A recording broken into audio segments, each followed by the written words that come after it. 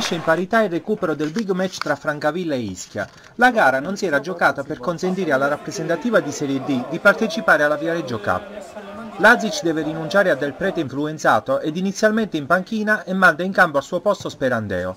Il tecnico Mandragora si affida al tandem d'attacco formato da Manzo e Trofa. Pronti via e Manzo e Trofa si rendono pericolosi al dodicesimo e al quattordicesimo, ma Ziembaschi è attento. Alla mezz'ora Izzo è costretto ad uscire per infortunio e al suo posto entra Del Prete.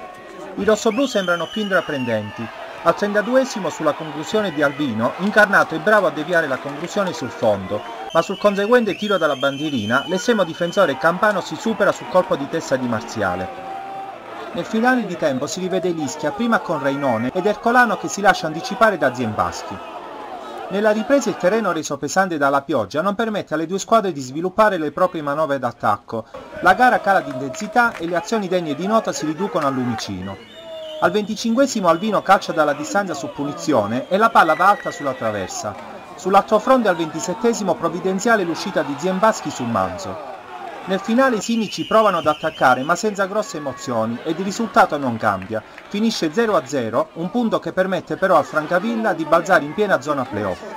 Tutte e due le squadre erano, oggi erano penalizzate su questo campo. Io dico che i complimenti ai miei ragazzi che con questo campo partita da fare era quella. E abbiamo fatto eh, dal primo a, 94esimo e, e, questi ragazzi ci credono e dobbiamo, eh, dobbiamo, abbiamo fermato questo Ischia che è una squadra, una squadra veramente fortissima, però oggi eh, se, se, si deve dire chi è squadra più forte in campo eravamo noi, l'unica cosa che è mancato il gol. Eh, mancato gol perché con, con questo campo chi fa gol vince la partita, infatti loro hanno creato qualche mischia in più, eh, qualche mischia, noi altrettanto, per questo sono contento del pareggio pure se, se, se sicuramente volevamo la vittoria. Adesso siamo dentro, pari con campagna, bisogna adesso non, mollare, non molare con questo Gaeta che viene da noi, in domenica un'altra partita in casa, per questo bisogna sfruttare adesso questa occasione eh, contro il Gaeta.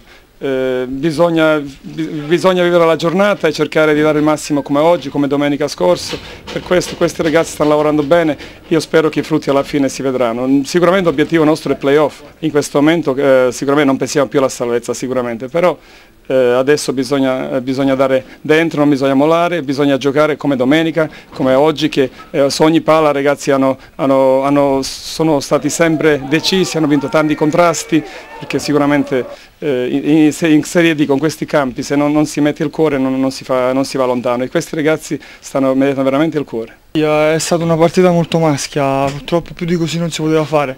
Abbiamo fatto un'ottima gara secondo me, abbiamo combattuto su ogni palla, penso che il pareggio sia il risultato più giusto.